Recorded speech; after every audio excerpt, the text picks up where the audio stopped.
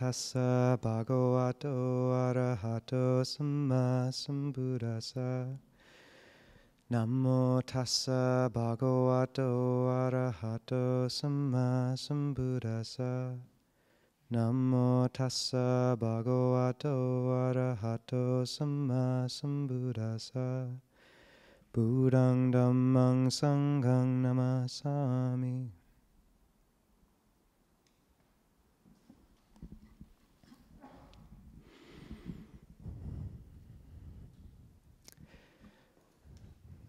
So, most Dhamma talks tend to focus on the bright qualities in the heart. They, uh, we speak often of loving kindness and these methods of bringing the mind to a state of liberation, of luminosity. And we rarely speak of the shadow and of the fact that the world is riven and woven with darkness too. And I remember hearing that with post traumatic stress syndrome and uh, some forms of trauma,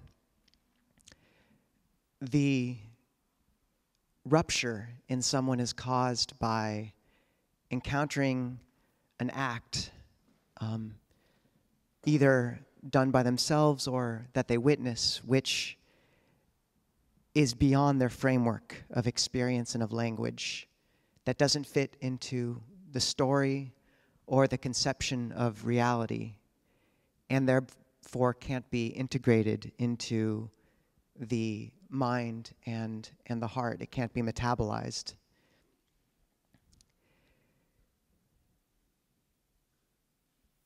And the spectrum of good and evil which exists in the world is such that some of the language that we have to use is archetypal in nature and even religious um, some of the things that exist in the world and that we encounter um, need the language of evil to speak about, of malevolence, of the demonic, and of the shadow.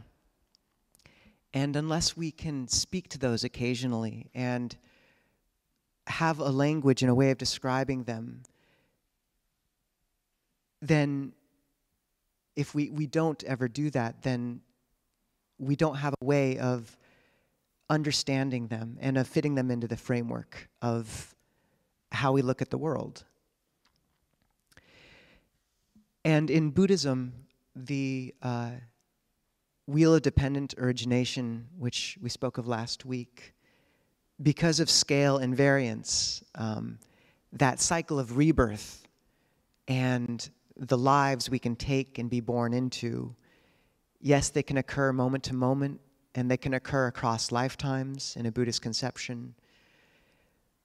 And similarly, these patterns, sankhara, we call them, of wholesomeness, of unwholesomeness, of skillful and unskillful, of good and evil, to use very uh, biblical terms, are also patterns we encounter.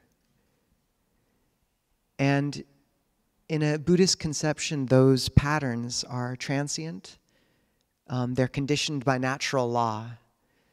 And they aren't damning in the sense that even if one of these patterns is woven into one, even if one has these sankhara, these programs running internally in the heart and mind, or even if one encounters these in the world, they can change.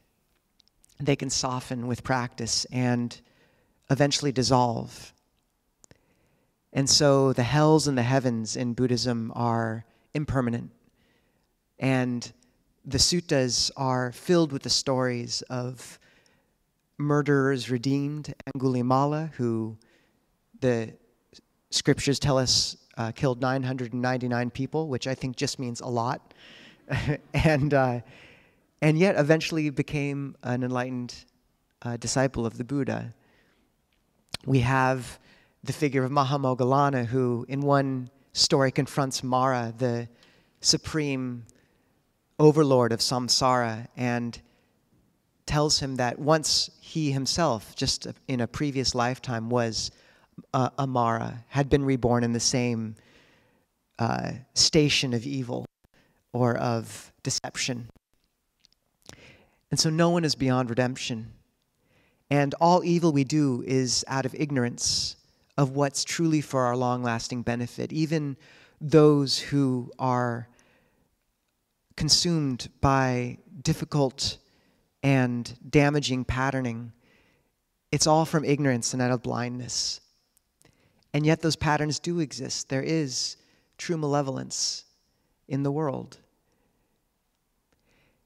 And so, to have a way of speaking about it and understanding that um, there is shadow as well as light helps us truly give ourselves to practice in the way that it deserves. It lets us metabolize the, the difficulty and the pain we see in a world that has been and is touched with genocide and with so many other forms of difficulty and, and um, damage. So, the Buddhist cosmology gives us uh, great and very uh, a spectrum of language for these uh, patterns. We have the realm of hungry ghosts, the pretas, um, to speak about the shadow of the mind which is obsessive, uh, constantly hungry and searching. We have the realms of the asuras, the angry gods. We have uh, the demonic, the, the hell realms. And once again, these are all realms we can think of as in the mind. We've all had days where we've spent in the hell realm. We've all had plenty of hungry ghost days. We might be having one today. And to see that these are pieces of ourselves and to learn how to interact with them, to know their flavor. And this lets us, when we can understand them as just other characters in this cosmology of the mind, then we're able to see them, understand them for what they are, and then hopefully find a skillful way of befriending or of protecting or of satiating them and of moving past. So, perhaps the most common one that many of us come into contact with is the hungry ghost realm. And many people will know these, these are the pretas. Um, they are usually depicted as beings with teeny thin necks and gigantic bellies, uh, always hungry and yet never able to take in enough food through kind of these pinhole mouths that they have to actually ever be satiated. And this is one good depiction, but the Preta realm, the hungry ghost realm, is also about obsessiveness. It's about the sense of rattling around an old pattern, about fixation. So there's one story I love to tell of a group of monks traveling through Thailand, and they find an old abandoned hut to sleep in for the night, and they all lie down, and all of their heads are in a row, but their feet are out of kilter. And so uh, a ghost who lives in the house sort of comes to them and is a bit off put by their um, disorderly feet. And so he kind of arranges their feet into a straight line and then stands up and takes a look and realizes that all their heads are out of order now. And so he goes to the other side and sort of sorts their heads out into a straight line again, and then realizes that the feet are out of order once again, and back and forth.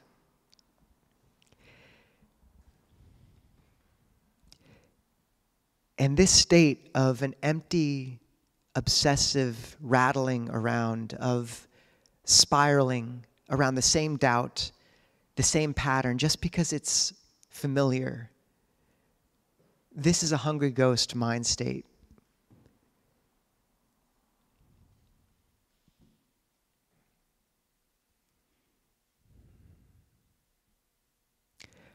I think the state of anxiety, of self recrimination, of knowing the comfort of a small closet that we've been locked in our, for much of our life. Many of these are of the hungry ghost realm. And to see that when you're in a hungry ghost mind state, how it manifests. And to know that what one does with a hungry ghost is spreads light and does good and then dedicates the goodness. This is a very common practice in Thailand is and pretty much every culture except western ones is or at least in the US is dedicating merit to the dead. And so in Thailand you'll see once people give alms they pour out water and that's their way of dedicating the goodness to their departed relatives. And so, this idea that when we're obsessing in that same old pattern that we're so familiar with, that's colorless and gray, rattling around, to get out of that, to step outside of yourself. Ajahn Sumedho said that, you know, whenever I think of myself, it, I just get depressed. And it's true, uh, there's such a healing power to giving and to keeping morality and to focusing on alleviating others' suffering. So this is how you deal with a hungry ghost is you dedicate goodness to another. You do good acts and bring to mind the heart and the spirit that you want to dedicate to. And that's how you step out of your own depression too is can you step into giving and outside of ourselves? And can you recognize that there is something comforting about a stuffy familiarity, and that this is the hungry ghost mind state.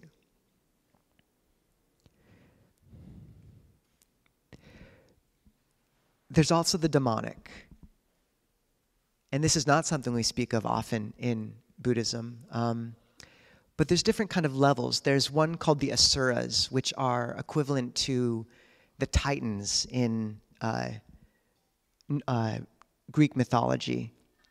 And the Asuras are depicted as angry gods. They're a mere image of the Devas. They live at the bottom of Mount Sineru. All this is in the commentaries, by the way, but it's, it's really fun. So um, this isn't necessarily the Buddha's words, but it's a Buddhist, it's part of Buddhist cosmology in some sense, and I think it's a very useful depiction of mind state. And the angry gods, the Asuras, they spend all day fighting, and then um, actually I think this is what Norse Valhalla is based on, but they think it's heaven. And the Asuras, the Asuras also think that they're in heaven, and only every now and again they'll stare up at the slopes of Mount Sineru and see the Devas, the angels, and realize that they're not in heaven. And then the commentaries say they'll swarm up the edges of the mountain like ants and attack the Deva's stronghold. And I think that's so fascinating how the Asuras think they're in heaven. Because this sense of anger is so insidious. And most of us know the burn of anger towards a loved one, of the way it kind of scalds the heart. And we also know its attraction, how there's a sense of power, of life that comes when you're you let the rage bubble up, and we understand why we go back to that. But what's so interesting is when we can blind ourselves to what's going on and really think we're a deva, but actually we're an asura. And I see this a lot in political discourse. There's a certain brand of compassion you'll hear where some issue comes up and there's a sense of pouring out a certain level of empathy, but it comes hand in hand with a shadow where you know the next sentence or the next paragraph is going to be one directed at those people, whoever they are. And sometimes after that conversation has happened over the dinner table 10, 20, 30 times, you really get the sense that it's almost there's almost a sense of feeding off of the issue. And also of a real kind of conceit where in some way we think we're angels, but really we've somehow become asuras in that moment. There's a subtle anger and polarization, and the moment we other another person, we've stepped into a realm of, of alienation. We've lost the plot. Always being uh, watchful for that movement of the heart. And then there's the real demonic realms of the real forces of evil in the world. And once again, evil is a problematic term in a lot of ways. Uh, it's in a Buddhist conception just based on ignorance. And yet, what happens when you do encounter true malevolence, um, true dark patterns? And to understand that, you know, one really. Uh, there's a great story of a demon in the Buddhist suttas. It's called the anger eating demon. And it takes place in the uh, Tavatimsa heaven, which is the Buddhist equivalent of the Greek Olympia um, or Olympic mountain, Mount Olympus, whatever it is. And Sakka, the equivalent of Zeus, comes back and finds this little demon on the throne. And um, actually, before he gets there, this demon, he's gone. The demon takes the throne, and all of Sakka's retinue says you, you've got to get off of that throne. That's Sakka's, that's Sakka's throne. And the more angry they get, the more the anger eating demon becomes larger and stronger and more uh, kind of gathers more gravitas. And then Sakka comes and he says, Oh, I know what to do. And, you know, all the other, the retinue are kind of wringing their hands and don't quite know what, what to do about this anger eating demon. And Sakka comes to the demon and he puts his robe over one, he's not a monk, but he's got a, you know, classic robe and puts it over one shoulder and puts his hands on Anjali and he says, I am Sakka, king of the, king of the gods. And he says it three times with his hands in Anjali, which was the most respectful way of greeting someone. And each time he says this and gives this sense of kindness and humility, the demon gets smaller and smaller until it disappears in kind of a poof of smoke and Sakka says, This was an anger eating demon. And similarly, with the means of dispelling resentment that the Buddha gave us, there's a sutta where he says that one who, when one encounters one impure in body but pure in speech, one should think of them, one should dispel resentment as a monk in need of cloth would come to a scrap of dirty cloth on the road and using one foot tear the dirty part away from the clean part and picking up the clean part of the cloth, walk on. And even so, one looks to the good. One dispels resentment towards one pure in body but impure in speech. Like a person dying of thirst would come to an algae covered pond and gently scraping away the algae, would cup the water in their hands and drink, satiating their thirst, and then move on. Even so, one looks to the good. One dispels resentment towards someone impure in body and impure in speech, but with occasional moments of mindfulness. So we're, we're going with a low bar here. As a person dying of thirst would come to a hoofprint in the road and, careful not to stir up any silt, would bend down and press their lips to the water and gently drink. Even so, one looks to the good.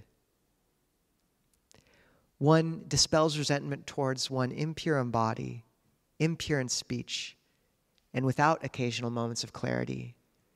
As one would look at a person wandering through the desert, dying of thirst and ill, and say, May they not come to misfortune May they be saved. Even so, one looks at someone like this, saying, May they be helped, may they not come to misfortune. And one looks towards one pure in body and pure in speech, as one would encounter an oasis in a pond, and bathing in the pond, having drunk their fill, lying lie down on the bank and rest. So I love that sutta. And you'll notice a few things. One is that in the situation where they encounter someone impure of body, the monk doesn't use their hands to pick up the cloth, they use their feet to tear it off. So you can keep your distance where it's necessary. You don't need to associate with people who have unskillful behavior too much. And yet you can still look to the good. You can still take what's good and give attention to that. And then, this is so beautiful, is, is in each of the other two situations where they gently clear away the algae or press their lips to the water, they're so careful to not stir up the person. So when you encounter those people who are on edge, where there's this difficulty, how gentle can you be? How much can you be spacious around those beings? And yet, in each case, after the person has drunk their fill, they walk on, they don't stay. So you don't need to associate with those difficult patterns more than is necessary. The only situation in that analogy, in that simile, where the person remains is at the oasis. There they lie down on the bank. And I only realized this after reading the Pali very recently. But the word that the Buddha uses for the person who cups the water to their hands, to their mouth, is anjali. They're making anjali to the person. And what's the motion of the person who bends their mouth to the hoofprint? It's a full bow. So just as Sakka approaches that demon with humility and kindness, the more kind of volatile someone is, the more gently, the more humbly you can approach. And this doesn't mean you don't put up boundaries. This doesn't mean you don't establish, uh, you know, relevant, skillful means. It doesn't mean you associate more than you need to with unskillful people. And yet, it means that as practitioners, can you approach those interactions with a sense of kindness and spaciousness? And yet, protection is important there too. And this is where sila, morality, comes in. The Buddha said the benefit of morality is one approaches any assembly without fear, and one dies unconfused. One approaches any assembly without fear, and one dies unconfused and you feel this is that when you compromise your ethics, when you break Sila, you've suddenly bought into the transient world and you're vulnerable. There's a real sense of danger. And in Buddhist terminology, it's called an okasa, an opening from Mara. Those moments, and you can feel the visceral fear, at least I can, when you aren't walking in line with Dhamma, when you know you've done something you shouldn't have you're vulnerable to the world in a way you weren't. And yet, like Luang Por Chah said, if you protect the precepts, the precepts will protect you. And often there's this conceit with kind of a secular morality that's not very well articulated of like, oh, it's good enough. You know, most people behave well enough. And it's true. In normal circumstances, most people do. But if you read about when things go bad, um, in Solzhenitsyn's The Gulag Archipelago, uh, Solzhenitsyn talks about these the work camps in Russia and how this brutal situation, and yet these few beings who had a clearly articulated morality that they would not budge on. He specifically mentions a former soil engineer named Gregory Ivanovich Grigoriev.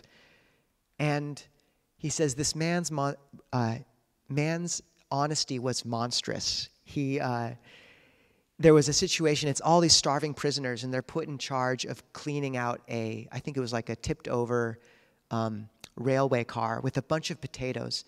And of course, the other prisoners who were starving were taking some potatoes and just eating them to get enough food. And yet, Gregory wouldn't touch them because he, he wouldn't steal. Um, there were situations where he was going to be put in charge of work groups instead of having to break rocks. And yet to do that, he'd be forced to fudge the books just a little bit. And Solzhenitsyn said he just, he wouldn't do it. And so he got down there and he broke rocks with the rest of us. And he speaks about this man who was just untouched. And this is what it means to have refuge. What does it mean to have a sila, a morality so firm and well articulated with the five precepts that nothing would break. And to realize that true safety and a feeling of refuge doesn't come from thinking the city will never burn, but knowing that even if it did, you would not do anything unskillful to preserve. You'd always protect your morality. You'd always remember first and foremost where your refuge lies. And the Buddha said there are five kinds of loss relatives, health, wealth, morality, and right view. The first three are trifling, he said. You will lose your relatives, you will lose your wealth, you will lose your health. But morality and right view, those are precious. So, this is our armor. And there really is a sense that even the most difficult, painful forces in the world, even the darkest, if you keep your ethics, you're in some sense untouchable. And I think that's true to an extent if you have something that you care about more than your life, and that's the pure heart, then, then what can really touch you?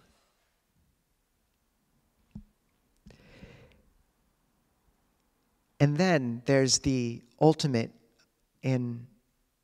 Oh, and I would also say that in um, Christian conceptions, the uh, Christians talk about how demons, uh, they do talk about possession, and they talk about how when a demon possesses someone, it's a specific, they're given a specific domain that they can uh, push the person on by God and that this is God's way of teaching someone, of strengthening them. So, say someone has a certain weakness for this or that, and the Christian conception, um, at least in certain circles, would be that the demon would take up possession of someone, but only to push them in that area so that they could truly become strong and learn to be invulnerable in that area, to push them at their weakest spot.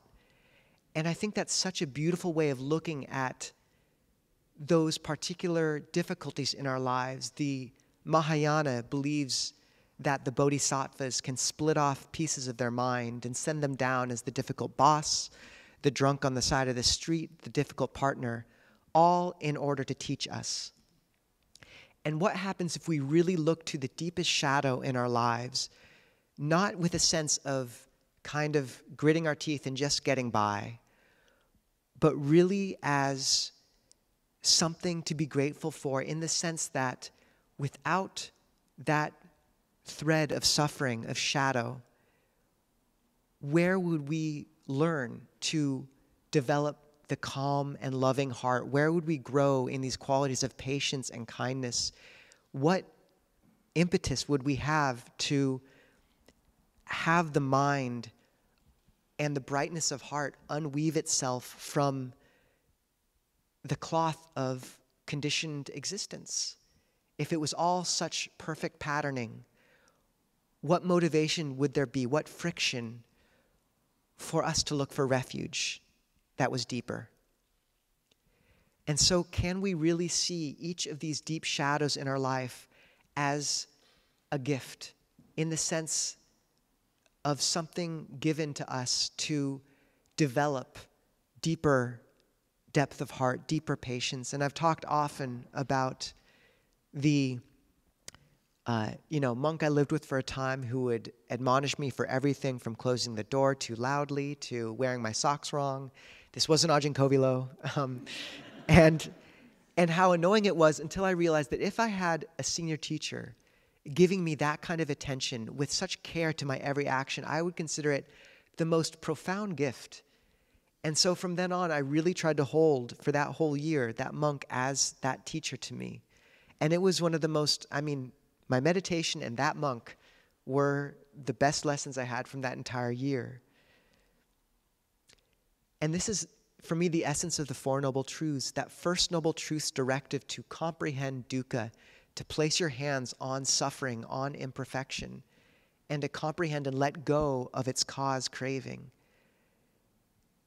If you are willing to turn towards imperfection with that view of understanding it and taking it as a stepping stone on the path, an alchemy occurs where the heart can grow and it truly can push one deeper towards awakening. And I've never seen a limit to how far that logic can be taken. People can encounter the most profound difficulties. And if there's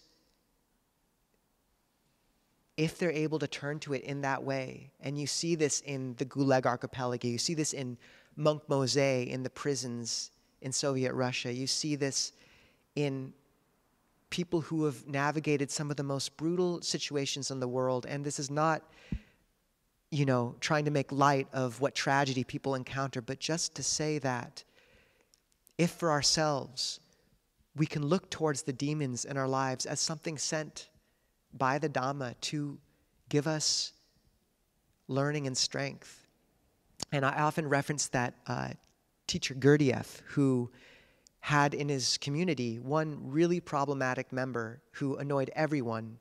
And one day they were in the middle of a work project, and the person just went one step too far, and they chased him away. And Gurdjieff came back and said, "Where's where's this this guy?" And they said, "Oh, we we were done with him. We just chased him away." And Gurdjieff said, bring him back right now. I pay him to be here. and and can we really look at that, you know? The Dhamma not as this punishing hand, but rather as the exact, an offering palm, handing us just the lesson we need to learn. Can our hearts be wide enough for that? And my experience is the Dhamma will always hand you just up to your limit, but never more. Never more.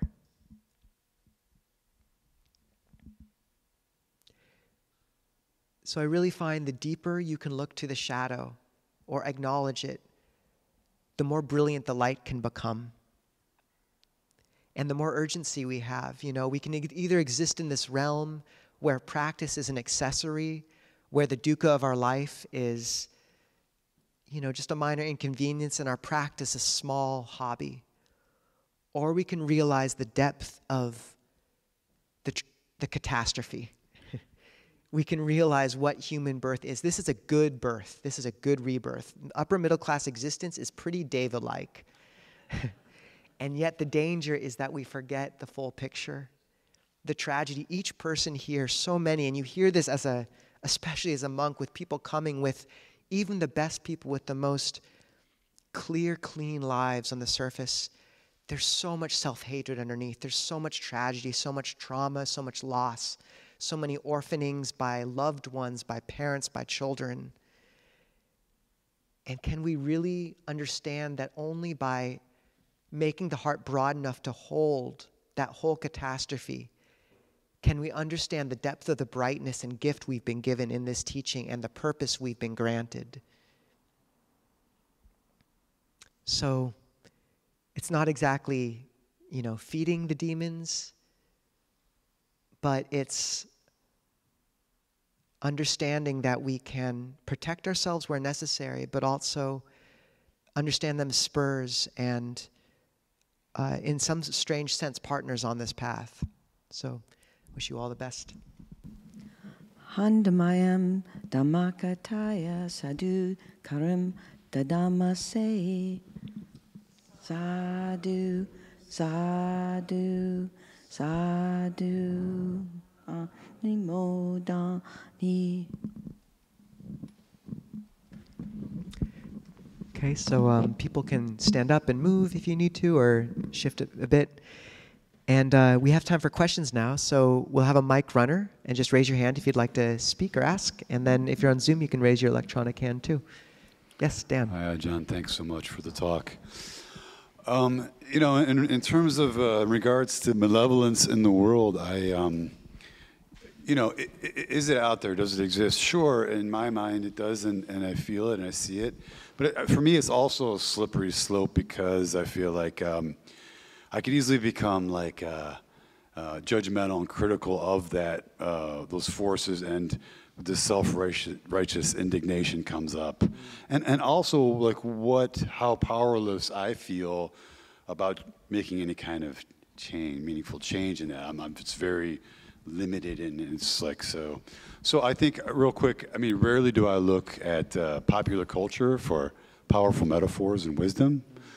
Uh, but uh, sometimes it's nailed really well, and I was thinking of real quick um, the, Star, the original Star Wars trilogy, and in Return of the Jedi, right?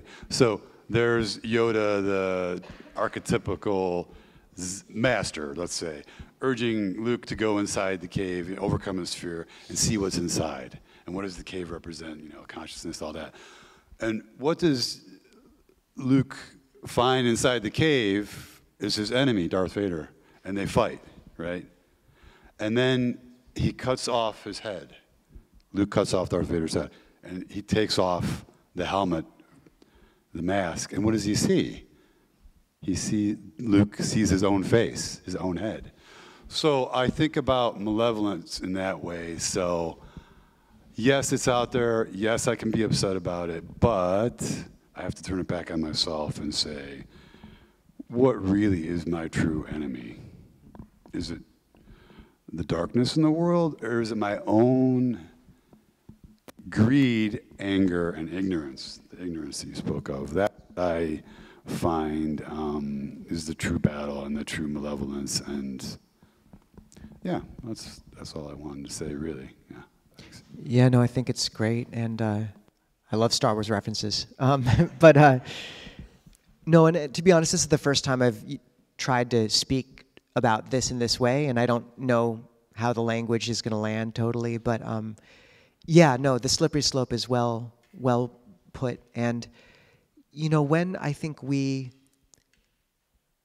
do begin to have that sense of condescension or something, to really look that it's us not acknowledging conditionality. Like if you trace someone's history back far enough, you will, you know, we all that experience with understanding someone's childhood and the difficulty they went through and then understanding why they are the way they are now and just the compassion. And there's always like if we really understood someone's history um, we'd understand where the sankhara come from. And and i think that's really important is that any sense of conceit or condescension or othering is never appropriate. Um, because you're right it could there's another sutta where the buddha said one should look at those fallen on hard times and think, even I too have been in just this situation in the course of this long, long time. And the equivalence of self and other there is so meaningful. And the acknowledgement that if we have so much trouble behaving as beautifully as we wish we would, with all the teachings we've been exposed to with a meditation practice, you know, how much more difficult for someone who hasn't been exposed to any of the Buddhist teachings and not said in a condescending way, but they're pretty great teachings. And I know that most of us aren't quite where we wish we were. So, yeah, I think that's completely correct. And it's a fine line with balancing that sense of empathy and compassion with acknowledging that some of those patterns out there really are very dark. And just being able to speak to that every now and again, I think, is important. But your caution is well warranted, and I think a really great way of putting it. Yes. Yes. Uh, person on Zoom whose face I. Hello, Bhante. Who's and it? hello, everyone. Oh, Gudis, please. Uh, I'm first of all, I would like to thank everyone. It is an opportunity to for for me to joining this wholesome group, which is making, which uh, all of them are making a wholesome mind from this Dhamma talk and walking on the path. Today, just I would like to share five recollections with permission of Bhante. Uh, Bhante, I would like to share five recollections. Can I share, Bhante? Um, we do have to make sure there's time for others to ask questions, Gudas. Or is it going to be quick? Uh, one thing is like, uh, uh, just I was reading one sutta. There, uh, it has come over like, uh, we are subjected to old age, and we are not exempt from old age and we are subjected to illness we are not exempt from illness this is really inspiring uh, bhante just i would like just uh, i have shared this to all Oh, thank, thank you, Goodness. Those actually, I love the five recollections, and we we do chant those actually almost weekly or daily at monasteries. And no, there's something very settling about the heart in, in that and increased urgency. Thank you. Thank you, Bhante. Thanking you all. Wishing all happiness. sadhu, sadhu, sadhu. Gary.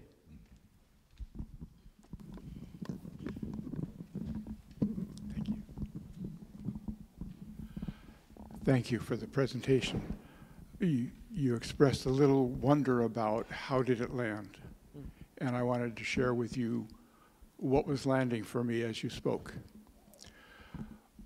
Most of us have seen in full color the attack that was made on the Capitol a few years ago. Some of us are old enough to have seen in black and white on live television the crossing of the Edmund Pettus Bridge. And I'm aware um, John Lewis, who we recently lost, for about 60 years since then, would tell the story of what occurred. They all practiced in real life what these actions would be and how they would respond. They faced the evil before it occurred in their lives. But they also matched that with meditation. They went inside and found what was going on. And so, as John Lewis was being beaten over the head viciously, he would look back at the person and say, I will not let you make me hate you. And that's the vision that I had as you were speaking of how real this is that we face, but we also learn by facing it. And if they had not faced it before, they wouldn't have been there to make that response. And he carried that with him and showed it to us all those decades since before he died. So thank you for helping that land that way for me.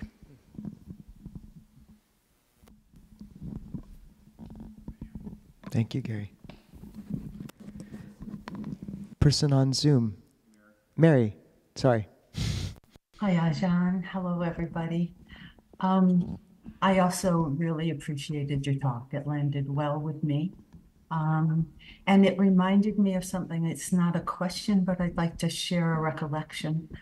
Um, when you were talking about the demonic and the way Sakka went and just bowed to the little demon on the throne, it reminded me, and finding the good, being humble and finding the good.